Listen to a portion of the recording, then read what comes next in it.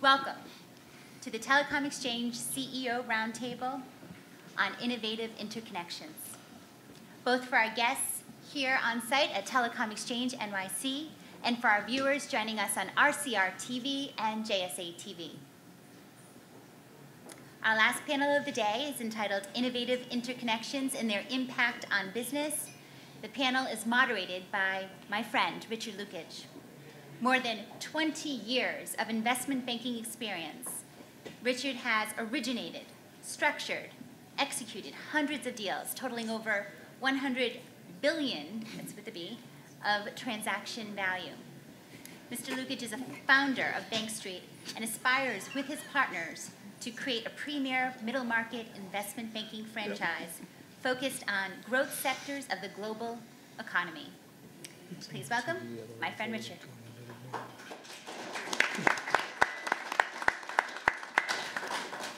So as I understand it, we're standing between everyone and their cocktails. uh, We we intend to make this as much fun. I was about to announce that uh, my uh, fellow panelists here uh, have uh, set the bar high because they intend to uh, provoke and uh, cause mischief here to make this the most enjoyable panel of the day. So uh, uh, with that being said, uh, uh, I'd like to maybe, uh, first of all, thank everyone. And I was uh, commenting to uh, uh, the JSA team that uh, this event has actually continued to grow in its success, that it's fair to say that it has outgrown this room. But uh, kudos to, to all of you.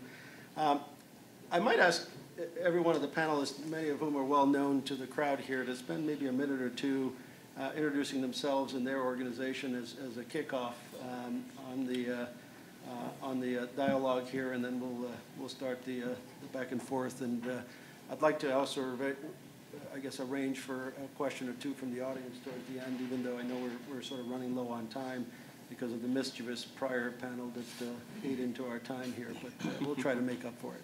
We got higher bandwidth on this panel. so maybe we start with Richard and work our way down the, uh, uh the aisle here. Sure. So I'm uh, Richard Steenbergen. I'm the CTO, one of the co-founders of PacketFabric. Uh, PacketFabric is a completely greenfield network designed around the purpose of 100% automation and making networking services more like a cloud. So kind of a complete rethinking of the way that we provide services, both transport, interconnection, um, everything in that space. Um, I'm Najam Ahmad. I'm part of the network team at Facebook. Um, somebody said um, the other day, you guys are working on everything deep sea to space. Anything in the middle network, we're working on. So um, building infrastructure to support uh, Facebook, um, serving the billions of users, I, I lose count on that stuff. But uh, essentially, pretty much any country in the world, we have users, so connectivity there. And then um, also uh, Facebook as a mission wants to connect more people to the internet, so working on a lot of technology development on uh, broadband access side as well. Uh, Frank Rey, still working for a small software company in the Pacific Northwest, and uh, I work on all of global network strategy and acquisition, um, building out our cloud services, supporting all of Microsoft's 200 online cloud properties. I'm Patrick Coughlin. I'm Chief Revenue Officer for FirstLight. Um, we were founded by uh, Bill Gates. Oh, I'm sorry, I was reading from your script. Never mind. um, we're, we're, a facilities-based operator in New England and upstate New York. Uh, 9,600 route miles, 5,000 on-net buildings. Um, I think what we're, our, our, we're known for is taking customers from tier two, tier three, tier four, and bringing them to tier one cities. Um, and we, we manage uh, both whole, carrier wholesale and vertical markets. Um, we have network into Montreal and some of the things that we're doing hopefully will uh, assist some of the other players here in terms of diversity and uh, creating um, new opportunities across the board. Uh, Gil Santaliz, CEO and founder of NJFX. Um, had a company called Four Connections, sold it in 2008 to Cablevision worked on my golf game for a while, got a really good tan. And um, 2015, we had an idea. And the idea was let's do something right. Let's build an interconnection facility where it's meant to go. Let's put it where the cables come across the ocean. Let's create an intersection point that's meant to do what it does in terms of building it right. So NJFX was founded. It was built inside originally the Tata Cable Landing Station, operating the Meet Me Room, carrier neutral style. And in 2016, last year, we opened our doors to the world's first Tier 3 co-location facility at a cable landing station. Today, we've got 48 more acres, and we're putting up buildings. We're allowing others to do what only a few in the past could do, and that is interconnect with subsea cables in a place that where it's meant to be. And we've got seven new backhaul providers with multiple fiber cables, giving optionality to all those subsea cables. So in essence, we're treating the subsea network the way it should have always been treated, with a proper building and plenty of capacity to leave. Thank you, Gil. So, much has been said today about uh, these uh, pesky content and OTT folks who uh, uh, drive unit pricing down and, and uh, uh, are looking at cost-plus models as the basis for their approach to the market. Um, Maybe picking up on some of those themes, um, I'd ask Frank and Najam to uh, uh, comment on the, the evolution. I mean, I think we've seen also there is a difference between content players in terms of how they approach the marketplace. Uh, we've also seen uh, principal plays with capital for ownership versus participatory uh, syndicate uh, propositions. Maybe comment a little bit about how you distinguish or differentiate your go-to-market strategy, and maybe that uh, is a way for us to uh, maybe hear from two of the leading players who've been uh, deploying capital in the space. Sure. No, you're in space now. All right. Fine. Um, so the um, our strategy is driven essentially by necessity.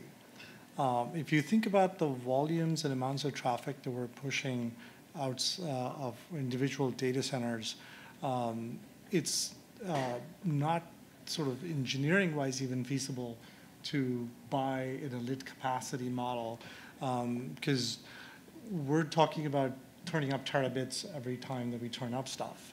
And uh, going through a ISP's um, deployment cycle, budget approval cycles, and all of that uh, for hardware is just impossible to do at our pace.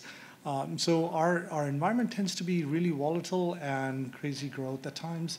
And so we need that engineering flexibility, uh, and then we need the control to be able to turn up stuff on uh, in a moment's notice. So outside of any of the business needs, there's a, a, engineering need to have a lot of flexibility, a lot of capacity, uh, and some control over uh, what we're deploying. Now, if you look at the financial side of things, um, uh, it's the same conversation that once you need that much capacity, it just makes no financial sense to actually try to buy in a lit capacity model.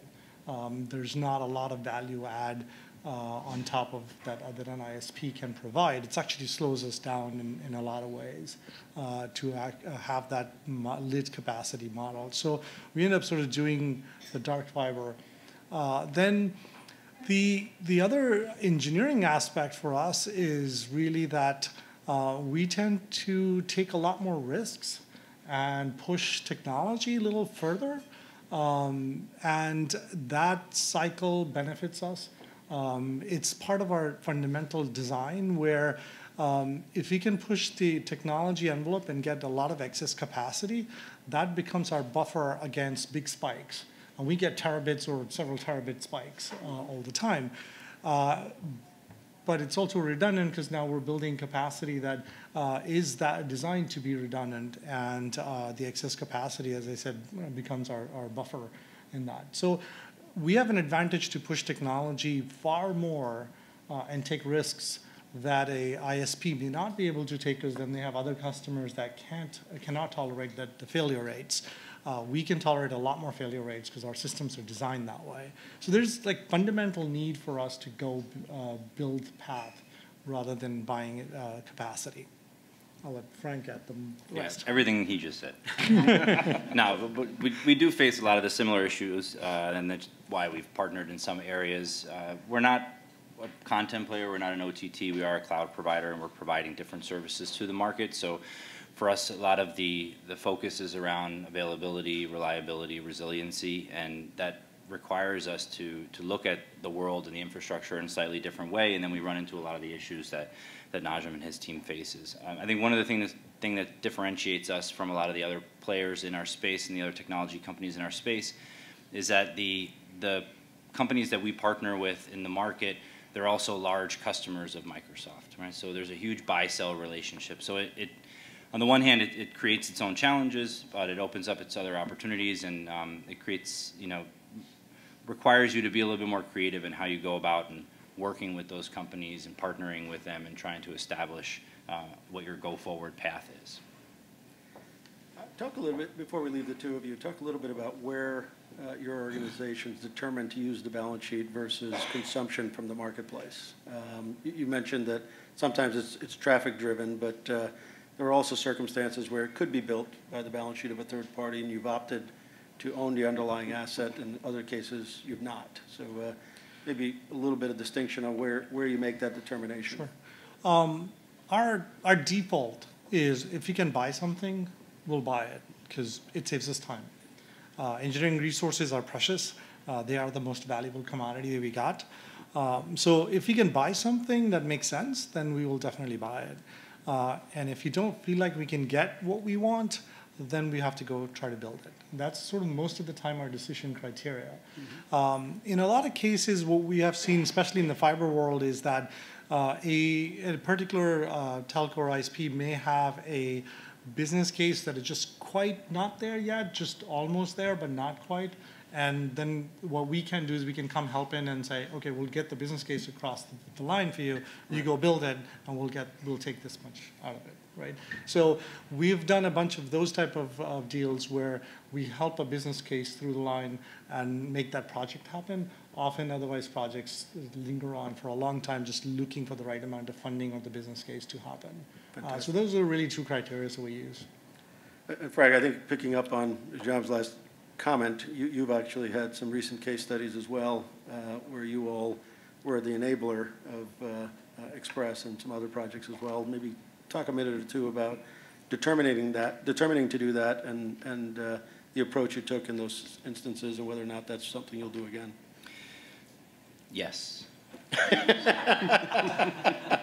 no, it's we were just talking with Jaymie about that um, earlier today, right? I think I've been saying for a while now the the, the timelines, the, the development timelines and, and time to market um, cycle in today's digital economy continues to get faster and faster, but the timelines to develop the kind of infrastructure that we all collectively need, it's not really getting any faster. Right? Mm -hmm. In some cases, it's gotten a lot slower.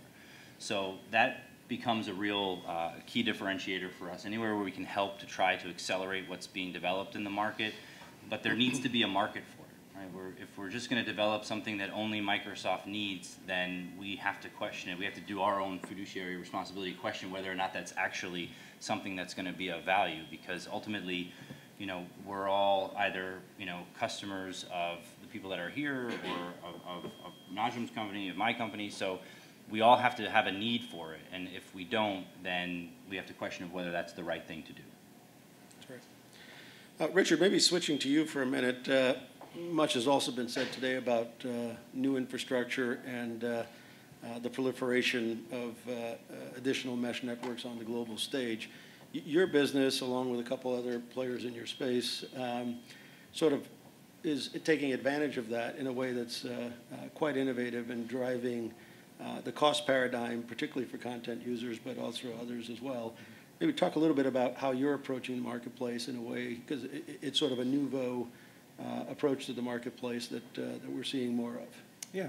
So I, I, think a real key differentiator between what we're trying to do and other people in the space, and by in the space, I think most people mean has a portal and an API and does some type of automation, is there's a lot of folks that are out there focused on connecting to public cloud, connecting to Amazon or Microsoft, and, and that's it has its place, right? There, there's value there. But what we're looking at doing is making networking more like a cloud. So I know these bo both involve the words network and cloud, but they're very different concepts, right? Uh, we're looking at, uh, in the same way that you know, an Amazon kind of changed the model for how people use compute and storage by removing the need. You know, if you, you look historically, you know, it wasn't that many years ago that every single company needed to have their own infrastructure, have their own racks, have their own people to go out there and configure it. To now anyone anywhere can go to a website, put down a credit card, and start spinning up cores. Why why can't you do that in the, in the field of networking, right? So that's, we've really taken the approach of, of how do you virtualize the network and how do you make it consumable? And the other big aspect of this is, uh, you know, as much as technology advances on the transport side, it's still fundamentally limited at the interconnection side. So uh, a, a Microsoft or a, a Facebook will push terabits of capacity. I don't think people realize how much capacity these content guys push, and probably content's not the right word, but uh, how much the, these guys push between one data center and another to make web scale services work. That is driving the economy. That's driving the, the scale. That's why uh, whenever I see people talk about uh, you know, there being a, a bottom of, uh, of price compression, I laugh because that these guys are, are absolutely driving that scale to make that work. But it stops at the point where their network ends because now you've got to get to someone else's network and now you've got to figure out where's the right place to be to do that? What's the right infrastructure look like to do that? It's no longer under their control. It's, it's someone else needs to do it. So our vision is kind of taking the technology that they've pioneered and turning it into not just connecting yourself to yourself, but connecting to a broader ecosystem and, and really making that bandwidth massive, easy to consume, very scalable, very quick. And uh, talk a little bit about how you use technology as well uh, to drive your unit pricing ability as well. Uh, yeah, so, so like I said, you know, we, we really focus on kind of leveraging the technologies that have been built for building these large data center networks. Uh, you know, there's a, a, lot of work going on in, uh, in, in, just data center networking and the, the packet side, right, where you're able to now build these massive terabit capacity uh, devices that are very scalable. You're able to get the optic prices much, much lower by, by focusing on the volume that they've been using and the technology they've been using.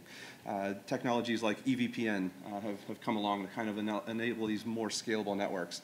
Uh, DCI on the optical side, right, has really driven a, a large amount of business uh, where it's now very easy to turn up, you know, today 200 gig waves and tomorrow 400 and by the end of the year 600 gig waves. That type of technology is really driving uh, the, the new evolution of a next generation network. And then the, the real trick is how do you put software on that? How do you automate that? How do you make that virtualized? That's right. Exciting times in that space. Uh, maybe switching to Gil for a minute, because he touched on uh, an element of the interconnection play that, that takes these uh, uh, hard network, uh, whether they're subsea or terrestrial in nature, and aggregates them at a point where, where traffic is distributed all over the world in many cases. Um, maybe Gil, talk a minute or two about what you see in this proliferation dynamic away from sort of the traditional core data center propositions to more of these interconnection-rich type of platforms. And you're obviously addressing one of the corridors with uh, the largest density of, of, uh, of landing station uh, opportunities. But there are other places in the world as well that have some similar opportunities. Uh, tell us a little bit about what, you what you've learned uh, on the Jersey Shore that uh, is something that we could see as a trend maybe on the world stage as we think about um, these kinds of opportunities. Sure. So over the last 18 months, we spent time traveling the globe, getting to meet all the international carriers within their countries and in the U.S. And you'd be amazed to find out that these international carriers believe their subsea cables land in New York City. We try to explain to them there are no cable landings in lower Manhattan, and they refuse to believe us. but we finally had a few of these folks come and said, there's the cable. Walked into the cage. That's a wet cable. See what it looks like? We're in New Jersey right? Here is U.S. cables. They go to Ashburn. You can pick and choose how things work. So what we've really done is disrupted and educated the marketplace. We've made the world aware that New York City is not a place where cables actually land. It's a great city. We all love to travel and come here, but our network doesn't have to go through lower Manhattan. We don't have data centers left in New York City anymore.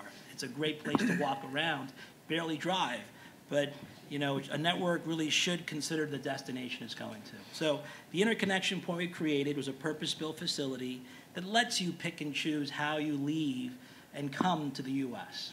And if you want to travel between continents, in one building with one cross connect, we can connect you between Brazil and Europe as well as the Caribbean. So we've got optionality for you that the market's never seen before. It's just really the next step in the evolution of interconnection.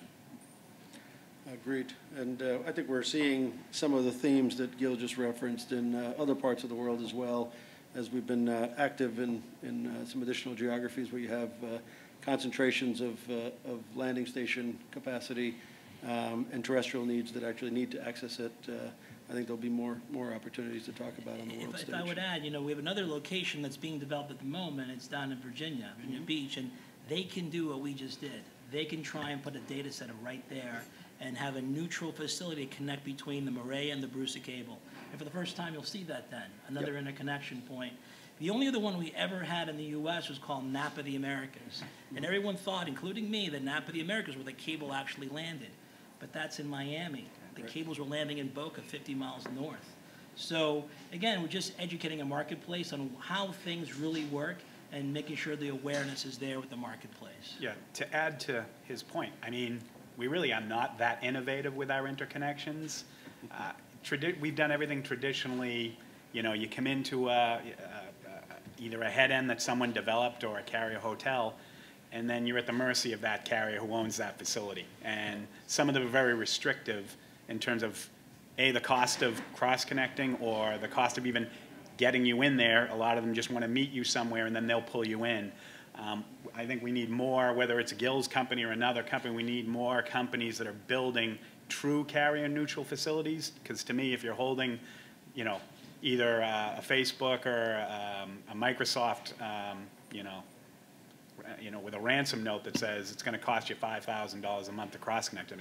That's not innovative, um, and it, it, I think it holds back some of the things we're trying to do because, you know, these guys are doing, you know, if they're hitting terabytes worth of information, they want to be able to quickly and seamlessly get rid of it and have it, you know, go around the world. I, I, I don't think we do that today. Um, it's something we need to strive. Not to take over your panel, but what, what happened recently My was, Now, now. there was, a, there was a fiber cut six months ago, and the cable was down hard for days. And the subsea provider said, hey, I need some help with the deal out with another subsea provider to transit over a bunch of traffic. It was gonna take two hundred cross connects to do it. The, the, the provider said, sure, that's gonna cost you X amount of dollars per month for a three-year contract. I need it for like a day, two days. In our model, we don't charge recurring fees. How can we help you? Let's do all these cross connects in the next twenty-four hours, get them done for you. So the industry needs carrier neutral, where you're not doing predatory pricing on cross-connecting people to each other. And that's what we're saying, is get, let's get back to basics. The carriers need help, right? They need to work together. It's a collaborative industry. And they have to have a marketplace where making a dollar is not the most important thing. We've got a higher calling in this industry, right? We've got to, we've got to make this all work. Because these guys will just go out and build their own facility. We make it prohibitive, you could do that. 5,000 to cross connect, yeah. We just started a new business today, actually. Free. I don't know why anybody would want to go to Virginia Beach anyway. It's crazy down there. I, but you know, I'm just I'm listening. I was just listening to Gil. Maybe part of the innovation needs to be needs to be that we start using different terminology for what we're talking about because mm-hmm. I think a lot of the buildings that we're talking about not charging cross connects, they're not really they are already carrier neutral, but the problem is still the same. So maybe carrier neutral is not the word that we need to be using anymore. I don't know. That's just me. Yeah, no, I- look, and I think also, uh, maybe a a good segue to Richard again on uh, talking about virtualizing uh, a lot of this interconnect activity as well, because uh, the infrastructure layer is certainly a a big part of it, but I think uh, uh, with uh, uh, a a preponderance of uh, uh, innovation around the uh, virtualization of the entire function and the sharing of those interconnected uh, facilities, uh, it provides a whole new set of opportunities as well. Yeah, so I- think if you look at the cycle of kind of the evolution of, of carrier neutral data centers, what you see is there's a lot of places that come along and say, we want to be competitive, we want to give away cross connects for free, we just want to enable stuff, and the problem is no one's there. And it takes years, it takes a, a five-year cycle, right, for, for really the economy of different carriers to all shift to this is the new place to be. And by the time that happens, they suddenly figure, out, oh, this is a great revenue stream we need to monetize, and it goes up and up and up and up and up every little, every year. So the, the problem is that the interconnection itself is dependent upon being in a particular physical place, right? So you can, I, I can go start the best data center tomorrow and I can say interconnection is free. Why isn't everyone using it? Because it takes time and business and, and reasons to be there. So our, our our approach is to virtualize it. So we're providing the interconnection without being tied to a particular physical space. So the, the, the data center itself isn't necessary. You still need a data center somewhere, but the goal is to make it so that it's completely agnostic as to where you're at. It should be as simple as easy, you know, for, for people who are doing less than terabits, they probably don't need to be doing it themselves, right? And that's my definition of, of cloud and hyper specialization is if we're able to do this and do it better and do it cheaper, more reliably than everyone else, if you're not doing the, these terabit scale connections, you probably don't need that physical infrastructure yourself. We're better able to virtualize that and then not be tied to that physical space.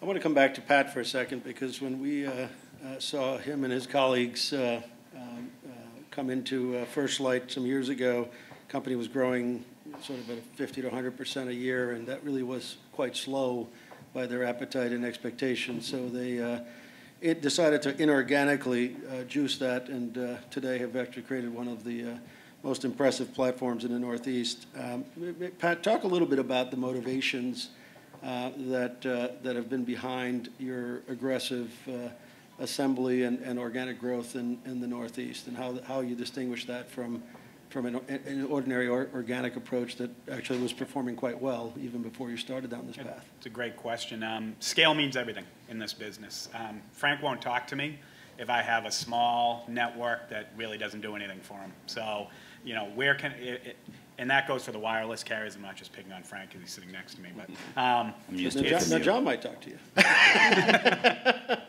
But um, it, you know, scale means everything to my customers. You know, being able to, um, in a much larger um, fabric, uh, solve problems for them, whether it's cell tower backhaul, whether it's diversity, um, whether it's large enterprise customers looking for, you know, um, internet access.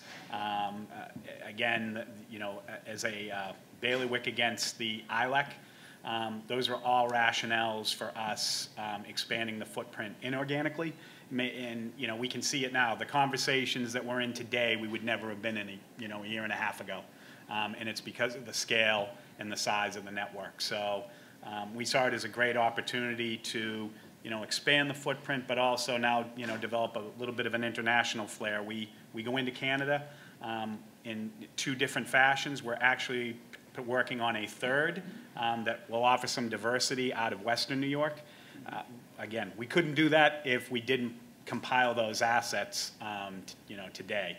And eventually, we hope to creep down, and I get a tan that's somewhat, it's like Gil uh, in the future, um, but interconnect with him, because again, we believe that the more uh, points we touch, you know, the greater the opportunity field. Make sure Gil buys you a T-shirt at his golf club before uh, And some you go into the lotion. facility. Um, So I'm going to probably turn to the audience in a minute, but I guess as we sort of all look out, um, we we chatted a little bit about this whole data center uh, infrastructure ecosystem, and we're starting to see an increasing uh, orientation towards uh, a plur- a pli- proliferation of uh, more and smaller uh, sized facilities uh, closer to edge infrastructure. Uh, And that obviously has implications for how people connect to it and how, how it is utilized, uh, both by content players as well as uh, those pushing data to the cloud. Um, Obviously, that also has uh, a profound impact on networks, and and Pat, I think, touched on scale. Scale sometimes is also uh, importantly uh, in the fiber and broadband space, often determined by the, the, the mesh of network density that you have in a particular geography. How do you each see your companies um, adjusting to this migration path, if you will? And that's not to suggest, by the way, that it's away from uh, or predominantly away from core facilities. I feel like to some degree, the edge facilities are doing something incremental uh, in, in a large measure. But, but I'd like to hear each of your own thoughts about how you see that proliferation affecting your business. Starting with you, Richard. Uh, yeah, so uh, I, I think you're right. They do very different things, right? So the edge facilities are there to distribute content to the internet or things like that, and they're very different from the centralized compute where what you care about is low cost power uh, and, and scalability of, of infrastructure. So very different things, but at the same time, you still need to think about interconnection as you start to do these edge facilities. You know, a, a facility that's close to the customers is no good if the customers can't connect to it, can't get to it. And the problem is as we add more and more and more locations, you know, it, it used to be, it's really simple if you think about New York and you think there's only one place to go. If I go to 60 Hudson, I've got everything I need. Well, that's not true. That doesn't work that way. And it definitely doesn't work that way as you start to go to these more edge facilities and you try to figure out where is that critical mass. And that's where I think there's a role for, like, I- like I said, virtualizing the network piece of it is not to be tied to that particular physical space, but to be tied to how does that space interconnect with other networks? How does that, is there a location that it does make sense for people to start to put their, their edge content? Uh, but you, you still, you need innovative ways to interconnect the backbone network, the, the users that get there, and it's, it's something that hasn't really been tackled before. Uh, that's, that's, I think, uh, one of the challenges we, we all need to address if we're gonna make that type of model work better. Najam? Okay, I think I'm going to try and say what Raz said in different words. Um, um, law of physics you can't change. Um, that's you know physics is absolute. Uh, buildings run out. Doesn't matter what you do. Um, and if all of us want to be in business, they better run out of capacity. That's a good thing. That means the internet's growing, the network's growing, we're all using it. So get with it, it's okay. Building's running out of space. Um, so to Raz's point, if you're tied to a building and you have to be in one building, then it's just not going to scale. You're never going to grow up. You're never going to be big.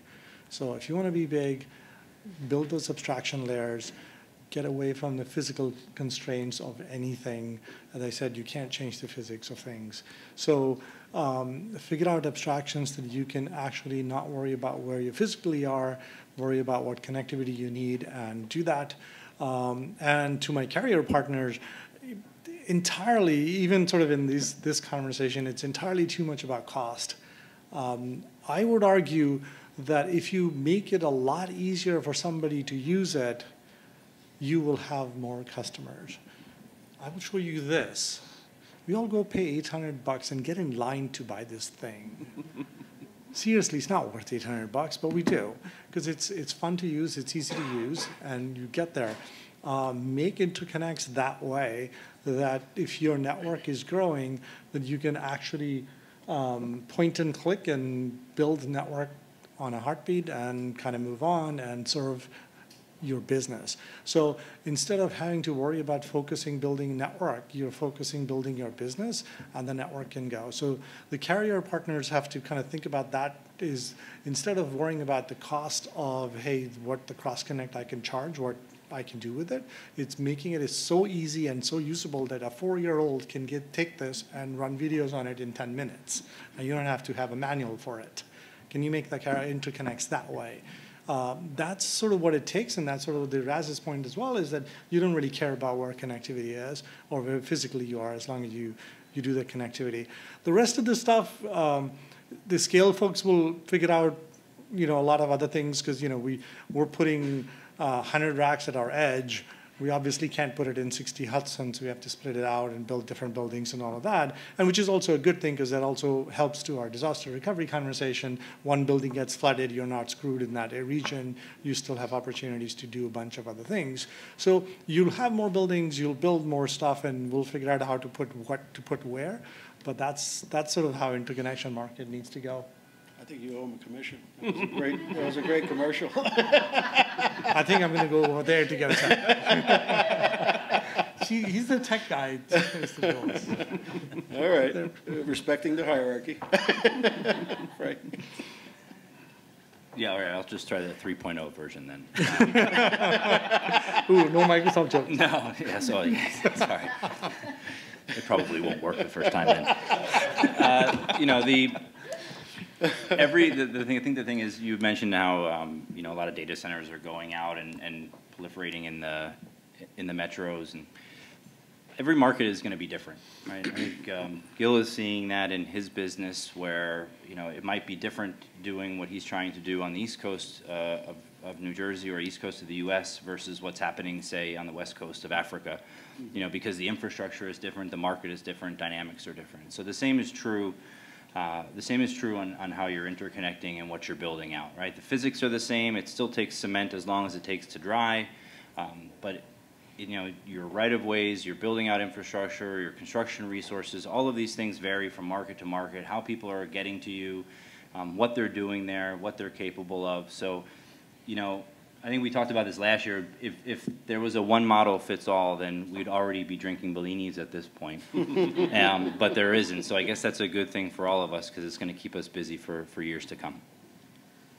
I agree. Um, I- I'll take it a little bit uh, on the other side in terms of, you know, we're just scratching the surface in terms of what we're seeing for, on the wireless infrastructure, and that's a lot of what we're dealing with at our company. You know, the densification projects that are going on, CRAN 5G, the amount of fiber that is being built or about to be built over the next, call it 24 months, um, is like nothing we will ever see, or have seen, I should say, not that we won't see, we haven't seen. Um, because it's the amount of fiber that all of these wireless players are gonna be taking down in metros, and again, as they extend their footprint. Um, and which is gonna be great for all, everybody sitting at this table, because it means more bandwidth is coming down, you know, the pipe, and needs to go somewhere, needs to get distributed. So, you know, obviously, we're gearing up on that on the FirstLight side. Uh, we- have the network infrastructure, you know, Richard touched on it, that was one of the reasons why we decided to go on a, a path of, uh, of M and A, was because, you- again, you needed that scalability, but you also need the engineering firepower, and as like Na- Najam said earlier, you know, you can't look at this uh, payback as being 12, 24 months. You have to take it out and be a partner with some of these wireless folks. They are building out your infrastructure or helping you build it out. But um, I think Frank said this to me a year ago. I don't want to pay, I don't want to be your infrastructure um, bank, you know, where I'm paying for everything. You know, this has to be a partnership um, as you're doing some of these projects. So, you know, that's the way we look at it, but, you know, for everybody in this room, I think the exciting thing is what's coming down, again, the, the pipe here is, is large fiber deployments, lots of bandwidth, lots of opportunity for everybody in this room. I agree with you, Pat, and, um, Thank God. Bit of embarrassing. we're all good, we're all good. Everything's working out. But, um, but thanks to Facebook, Microsoft, the rest of the OTTs, the world has changed forever. It's only been the last 15 years that we're addicted to these phones in our pocket, but more importantly, as we become an aging population, our cars will get us to places without us actually driving, which I'll really appreciate 20 years from now. Um, the Ubers of the world, the applications are endless. But end of the day, where do the apps sit? That's up to the smart guys to figure out how to do it cost effectively, and they need optionality and to have that optionality to say where my app is going to sit, where it's going to reside, how I'm going to manage it, means that they've thought through the network architecture and all the diversity needed to do it. So those are the secrets that keep us all safe. Um, they need us in terms of infrastructure. You know, we're fortunate enough to be in a great location with great partners like Tata and Aqua Comms, because across the ocean in two different ways. Um, because at the end of the day, customers need to know how do things work. Let's make sure we design things that are going to last for the future. And let's make sure that the lights are always on, but more importantly, the internet's always working, because that's what we care about today. Absolutely. I might turn it to the, uh, to the floor for a question or two. Uh, One in the back? Just a quick technical question regarding integrated optics. The router technology curve seems to move slower than the transport technology curve. Um, Curious what you see in the market. Do you see a point where technology and optics will be just in the routers and um, kind of forklift out the transport gear? Just curious on your thoughts, a little bit of prognosticating there for you. Uh, I- I'll take that. So, yeah, I, I, you know, I think we've seen a, a move recently to people trying to integrate the, the long haul optics and the routers, but it's not actually that new, right? It's, it's an idea that I, I've seen Cisco trying to do for 15, 20 years now, and it, it's failed every time, and I think there's a reason for that. Uh, optical technology develops at a vastly different rate than router technology, switch technology. And the problem, the penalty that you pay in interconnecting these two things is you've now, you've coupled them together in a way that is very difficult, right? You, you've made now a low-density line card that isn't as reusable, isn't as scalable, isn't as cheap, and was probably came to the market 12 to 18 months slower than it should have if you had just been able to decouple the two. And the, the cost of interconnection of these guys is, is not that difficult, right? That's, that's what's driving uh, a lot of the, the QSFP 28 SR4 market today, right? The, you know, millions and millions of these units are shipping because for the, the cost of a $200 optic, you can replace the need to, to lock yourself into a dedicated piece of hardware that's not a good fit for your, for your network. Uh, for, for years to come. So I, I personally see no life in that. I think it's uh, a really bad design and, and something that's going to fail again. The, the only thing I'd add is, uh, agree with Raz on, on, on his points. In, in certain scenarios, like a data center inside the data center model, um, you have a ton more interconnects inside the data center than outside the data center. And if you want to go really high, uh, like 400 gigs, one of the options may be onboard optics. Um, and that's a, can we make this work in this time frame? I think it will eventually still come out of the box and be a pluggable again, uh, but initially might be an option to look at uh, onboard type stuff. So more of a technology reason for doing it, because we need capacities faster, uh, than more of a business guys. Any other questions? Actually, a quick question. Um, You each touched on the ability to be nimble in the marketplace, but now we're living in basically a just-in-time uh, society where we want instant gratification. So it's how nimble we are, and that's where these interconnections come into play. So have you started to see any trends where those interconnections are faster, where you're not waiting five to 10 days for a cross-connect to go through a process to get from one floor to another? Or are you still starting to feel some of those pain points? That's yours. So, so, you know, obviously there's a, a pain point in the speed of interconnection, right? Whether it's one day or five days, but it's more than that. It's, it's the pain point in the number of people that were needed to place that order in the first place, to run it through sales, to run it through provisioning, to get an LOA, to have it, get a correct LOA, um, to, to, to, you know, project manage the plugging in of the patch cable to the router. That's the thing that takes weeks or months uh, in, in most cases, right? So any, any large company has hundreds or thousands of people that are project managing this, this type of stuff. That's what's slowing down the evolution of, of the, the real just-in-time stuff. So there's, there's nothing a data center can do. If, if, if they made the cross-connect happen in six hours instead of 12 or 24, that doesn't really change things, right? What changes things is the, the business drivers around that. The, how do you get the order placed and get it provisioned and get it configured and get it out there, that's where you need to look to the model that, that's worked great in the cloud space, which is real infrastructure around automation, around treating it, treating it like a, it, it's got to all be done in software. It's got to all be, be, be orchestrated. It's got to be measured. It's got to be, uh, you, you really have to think about it in that kind of scale. And then you open up a whole different kind of business, right? You open up people who are able to, to reconfigure networks in very different ways. They're able to, uh, to really move stuff into the cloud in much more pervasive ways than they were before because of the, the six-month process to get a one interconnection for one thing through one carrier. Uh, that's, that's the real value.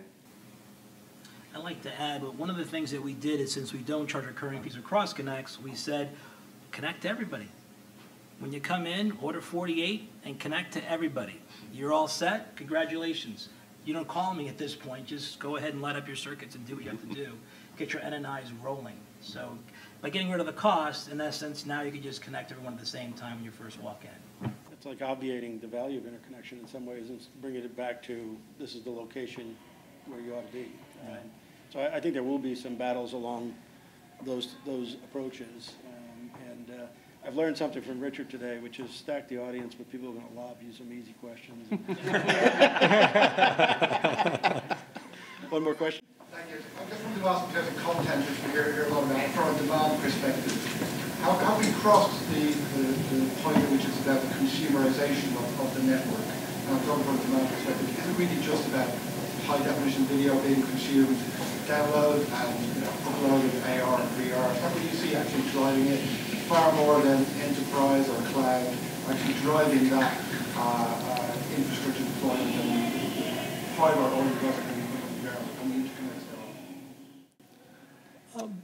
I can give you a sort of a specific answer, but there's a generic answer as well. Um, we we always sort of every year we do these five-year projections, what our growths are going to be, and we look at these this five-year chart saying, "Whoa, hang on, boom. Okay, first two three years is fine, this level of growth. The last two years it can't be that big, and we'll just cut it down and we'll bring it down artificially because we don't know any better. We've been wrong every time." every time it's higher than what we thought. So, um, yeah, traffic is growing. The, the trouble is that, um, and I think I've said that, I guess I'm using this as an example again. uh, there, there's a, so much compute in this thing in your hand, and then there's an army of developers out there writing code, coming up with ideas to use this compute that you have in your hand. Guess what? Traffic's not going down. And, and that's been my experience. Every time we've done projections, we've been wrong. Um, you can come up with different scenarios of what it takes to do. Our patterns are changing for sure. Uh, we used to do a lot of messaging. We did started doing a lot of photos, and then we started now a lot of videos. Um, we're starting to do a lot of 360 videos now. We're starting to see that.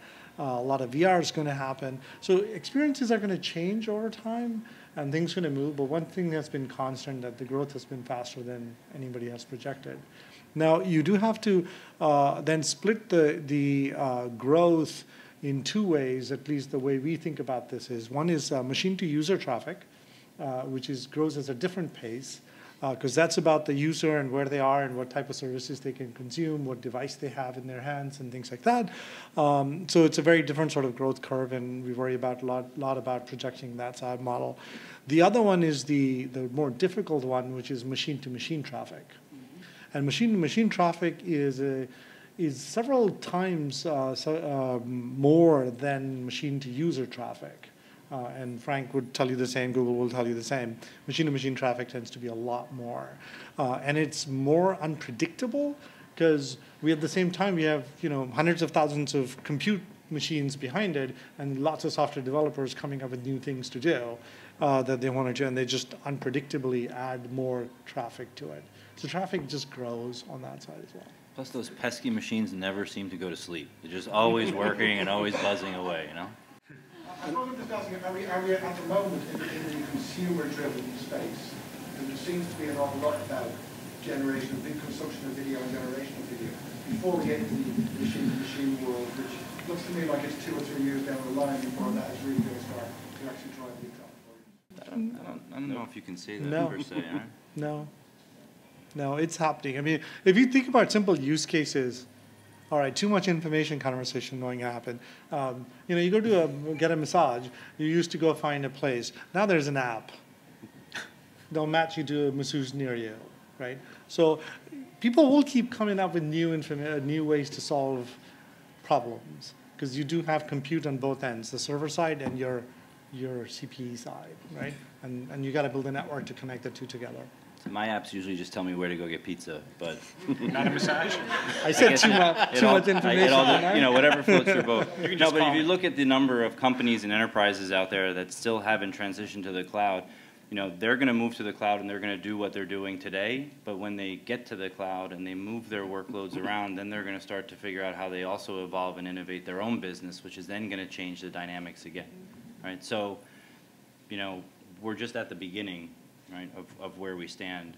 How that translates into traffic, I mean, yeah, if, if we could answer that, then we would, we probably, we would already be drinking Bellinis mm-hmm. right now with Gil at his club, so. So one, one thing I would add to that is, you know, there's still whole industries that are built around mailing hard drives today because they're not able to get the connectivity that they want, when they want it, how they want it. There's still a ton of, of room for growth in that space.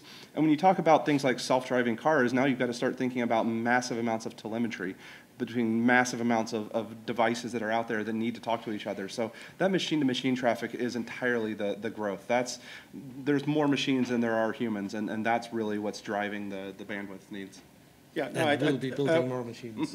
And I was going to actually just uh, um, piggyback on that last comment and say that we're, we're also going to see some of the same machines doing much more uh, and actually communicating much more, as well as so many, many more devices. Uh, Obviously, cars was featured here today, but uh, uh, all kinds of other devices that are going to start to actually uh, communicate as well. Um, And I think that's just the beginning of all kinds of commercial applications and, and the like. So we are, in many ways, in a, in a technology-driven as well as a, uh, a, a behavioral uh, modification uh, dynamic that is all seemingly compounding the proliferation of network utilization. Uh, So with that, I'm going to bring this to a close. I have to admit, I did not think we would actually be able to cover the global networking and communications infrastructure and to the depth of pizza and massages, but uh, I think we covered a lot of ground today, and uh, I appreciate everyone's attention. And See you all next year.